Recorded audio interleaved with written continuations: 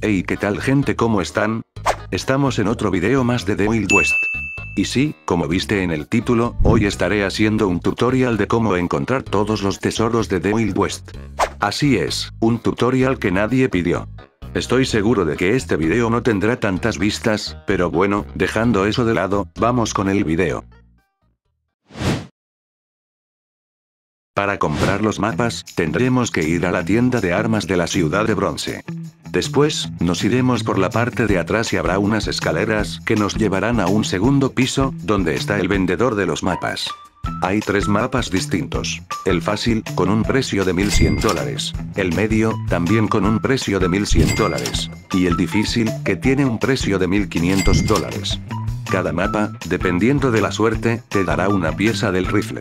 Por ejemplo, el mapa fácil solo te puede dar el cañón, el mapa medio, la parte central del arma, y el difícil, la culata. Pero ojo, las piezas tienen una probabilidad baja de salir. Si ya tienes todas las piezas, tendrás que ir con el herrero y construir el arma. Solo basta con acercarte a él y presionar E, y listo, ya tienes tu arma. Para conseguir las piezas, tienes que buscarlas en los tesoros. A continuación, te enseñaré todas las ubicaciones de cada mapa.